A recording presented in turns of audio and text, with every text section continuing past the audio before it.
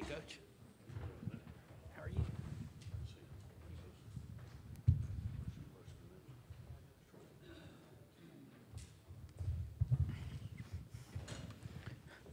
All right, we've got LSU coach Ed Orgeron with us. He's going to open with a, a quick statement, and then we'll uh, open the floor to a question and answer. Hey guys, great to see everybody. Uh, Obviously, we're excited for the start of fall camp. Our team has had an outstanding summer. Player practices has been great. Uh, Attendance in meetings, uh, one hour on Monday and one hour on Wednesday on installation has been fantastic. Our guys are working hard in the weight room. Our freshmen look good. We have our whole team together, starting practice on August 4th. It's going to be an exciting year. Thanks, Coach. And if you'll raise your hand, we'll get a microphone to you for Q and A. We'll start right over here on the left, second row. Good afternoon, Coach. Coach, what's your vision, vision for the offense and the person selected to play the quarterback position? Yes, uh, our vision for the offense is to have a, an offense which fits the quarterback skills. Uh, we're very multiple in the things that we can do. If the quarterback skills say that he's a runner, we have quarterback runs in our offense. If he's a drop back thrower, we can do that.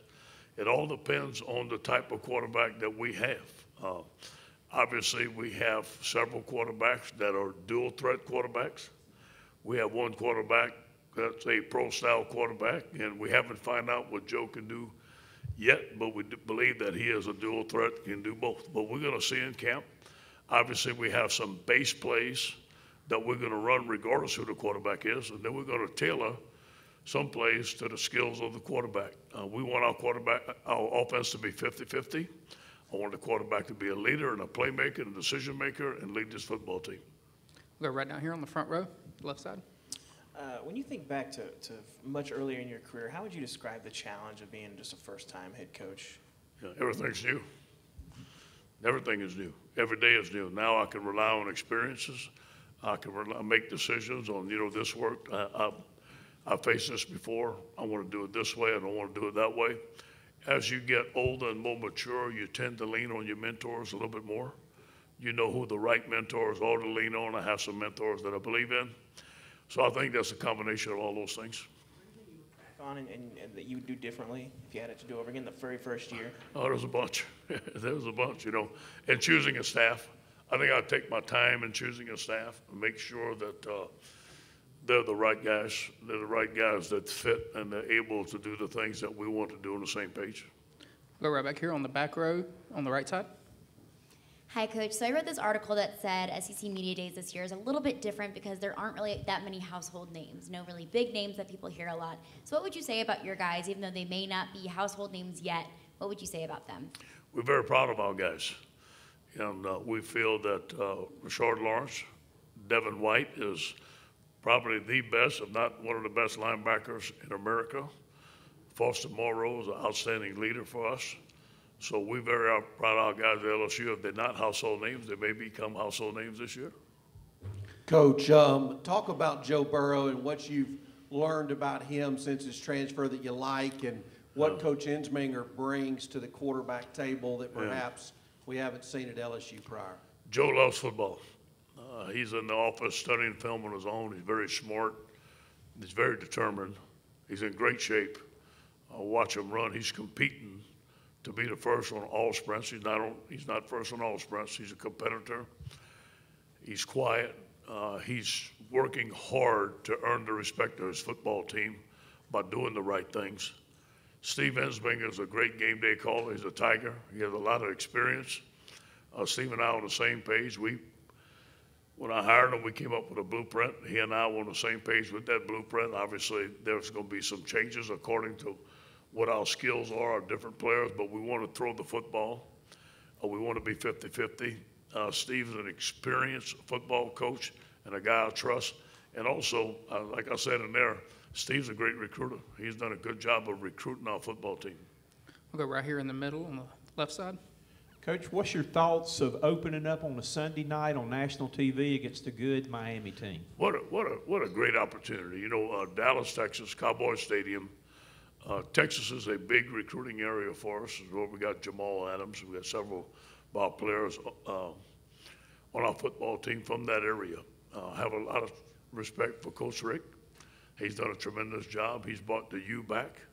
Uh, I coached at the University of Miami for, for four years. I know exactly what that temperament is down there, the type of football players they have. It's going to be a tremendous challenge. Like I said, you know, you start all-season workouts and you open up with Miami, everybody walks in with their chest up, their eyes up, and they're ready to go. We'll go to the camera platform on the left side back here. Over here, Coach. We asked Foster about just um, how important it is to keep LSU, Louisiana talent at LSU, and he really said that you know we carry LSU wherever we go, and we carry Louisiana wherever we go. How important is it to you to just keep Louisiana recruits and LSU talent at LSU? Here's the first step. It's the basis of all our recruiting. Here's our philosophy. To recruit the best players in the state of Louisiana, to keep them home at LSU and play for the Tigers. Go out of state and recruit potential number one draft picks like we have done so many years. This is a great year in the state of Louisiana. We have a strong recruiting class right now.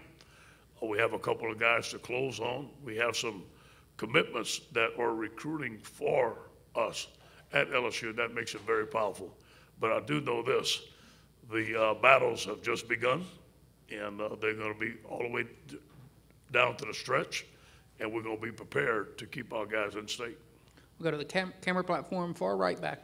As someone who played uh, defensive tackle in college, you know, uh, what does it take to make a great defensive tackle, and do you think Rashard has exhibited that? I think the tenacity, explosiveness out of your hips, change of direction, great hand strength, smart,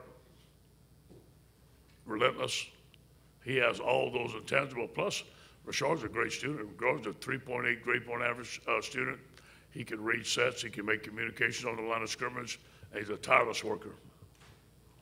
We'll stay on the camera platform right in the middle, all the way in the back. Coach. Uh, you guys haven't beaten Alabama since 2011. You get them at home this season. Just when that time comes on the schedule, what are you preparing for the defending national champs? Obviously, a very good football team, coached well by Coach Saban. Uh, they've had the number one recruiting class of many years ago. but you know what? We've had some battle with them now. Close is not good enough. I take it back uh, two years ago. We're going zero-zero into the fourth quarter. Give give them the credit. They made plays we didn't. Last year was a physical ball game. We handled, we hung in there toe to toe with them. They made the plays and we didn't. Uh, we understand. I understand. To being the head coach at LSU, you have to beat Alabama. That's the benchmark. Go over here to the front row, all the way to the left. Just given how much production y'all lost on offense, do you think, especially early on against Miami and then those next two uh, conference games in September, that the defense is going to have to kind of step up and carry y'all? You know, um, that would be uh, some uh, logical thinking, but we cannot think that way. We have to be full speed. We have to go against a very good Miami defense, a very good Miami offense that scores points. We need, we need to be clicking on all cylinders the first game. Then we play Southeast Louisiana, then we play Auburn. So we have to start fast. We have to get this team ready on all three phases of our team. Now, whether we can do that or not, that remains to be seen, but that's our goal. Go to the front row, over here on the right. Coach, how important is it to have assistants that you are totally comfortable with?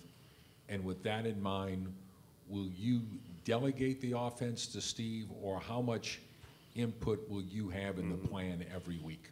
First of all, I totally trust Steve. I totally trust Jerry Sullivan. I've worked with uh, Tommy Robinson and James before, and I totally trust Mickey. So these guys, I have no problem walking in there and saying, "Hey, man, what are we doing here? This needs to be fixed." And I'm sure they have no problem saying, "Yes, sir, you're right."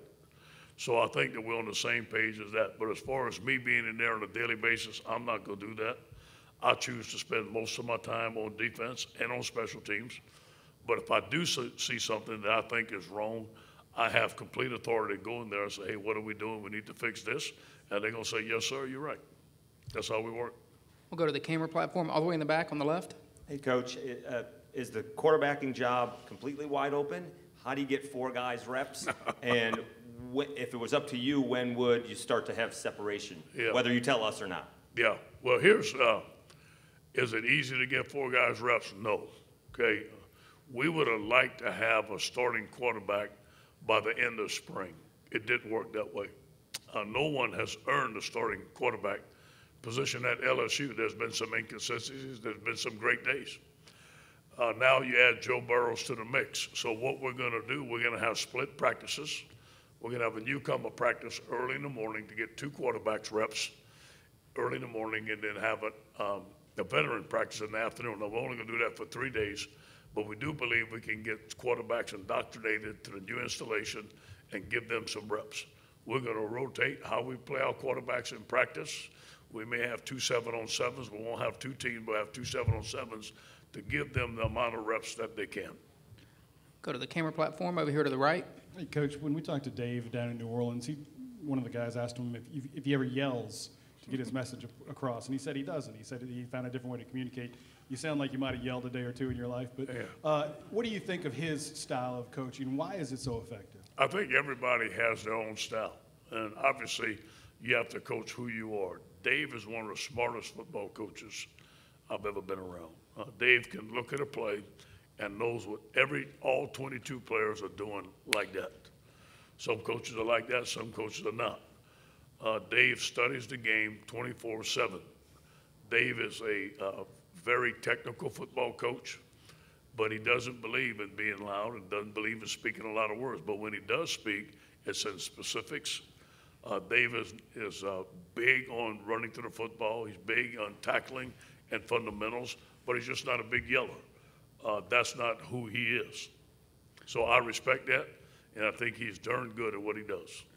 Go down here to the front row on the left side. Ed, given what you said about uh, recruiting Louisiana and how the SEC landscape's changed recently with, with Jimbo coming in, how important was it for y'all to, to get Terrace Marshall to sign, uh, given the competition for him late? Oh, It was important, and uh, they made a run. Uh, Jimbo's an outstanding recruiter, and they made a run. And uh, but you know, when you recruit the state of Louisiana, we've been recruiting a lot of these young men for two years, and you build relationships, and you build a solid foundation. So if you're doing the proper job and you build a solid foundation, it should be very tough for someone to come in at the end to steal someone from LSU. Most of the young men growing up in the state of Louisiana grew up wanting to play at LSU one time or another. It's our job to rekindle that feeling and to get them to Tiger Stadium. Go over here to the right side, middle of the second row. Hey, Coach, uh, Bruce Marshall, Sports Byline USA. I'm an old, uh, old-time Redskins fan. A little surprised Derrius Guice fell down to us in the second round. Can you tell me what might have been going on there and what are we getting with him? You're getting a tremendous football player and a tremendous young man. Uh, I don't know what went on, but I think that the Redskin is a perfect place for Derrius. He is a player that runs the football with violence. He plays the position, the running back position, like Warren Sapp played the defensive tackle position. And that's the first time I've had a running back do that. A tremendous young man, tremendous player, third down back, can do all you want to do, He's going to do a tremendous job for the Redskins. Y'all going to be proud of him. Go to the camera platform back here on the left side. Coach, uh, here, Coach here in the back, um, you've already lauded some praise on Devin White, but what are some of the intangibles that he has that makes him such a valuable asset on the field, but also representing the program as a whole? You know, I think Devin uh, spends a lot of time on leadership, a lot of times on silently coaching younger players, not to make it a big me deal. Being a leader by doing things the right way. Spends a lot of time with Dave. I know there's a lot of text messages between him and Dave, a lot of communication on leadership. He's the first one to come ask me, Coach, what can I do better? Coach, I want you to coach me harder. I know you've been through some great teams. Show me how to do it. So he's always asking for advice, always wanting constructive criticism, and that's a leader. We'll stay back here on the left side of the camera platform. I Want to ask you about a guy who's here in Atlanta now. I think you had Deion Jones for one year. I know it's a different position group, but what do you make of his progress so far in the NFL? We're proud of him. And uh, Debo's an excellent young man. He's an excellent tiger. Obviously, very fast. He's physical, can key and diagnose. The thing you get about Debo is the same guy every day. Uh, I do not think that in any way or form that fame is going to get to him. I think he's going to continue to work every day and remain hungry. As he would tell you, there's still some things he needs to get better at. But the thing that most impressed me with him was his speed and his physicality. Go all the way to the back right of the camera platform. With all the good things you said about Devin White, what are the chances he gets number 18 in the fall? You know, we haven't made that decision yet. on uh, who's going to get the number 18, but obviously, he would be a candidate. We'll go right over here at the back row, right in the middle. Uh, Coach Devin White joked about Foster Moreau, who's so intelligent, he uses vocabulary words and stuff that goes everyone, over everyone's head. But just what kind of player is he? He seems like he brings some toughness, a little, you know, uh, Foster to your team. You know, I would say, and I don't know if you me- how to measure this, but Foster's definitely one of the tougher players on our football team. I was there the night that uh, we decided to offer a scholar, a scholarship to Foster. It was one of the last nights. I believe he almost went to Tulane, and thank God that we did offer him a scholarship. Uh, he brings so many things to the table. Obviously, he's a great blocker, can stretch the field, can catch. He's good in protection, but he does so much more as a worker. You can go, was, there's a seven o'clock work group. Foster's working out with the seven o'clock work group. There's eleven o'clock work group. Foster's there, and there's a two o'clock. Now, he may not be working out at all three groups, but he's gonna attend and coach and support his teammates. What you see is what you get every day with Foster. All right, last question for Coach. We'll go right here to the left side in the middle. Yeah, with the expansion of legalized sports betting, do you think anything needs to be done to address injury reports? You know, uh, as I said in there, obviously, I've been in NFL, the NFL one year. There's a standard way in which you report injuries.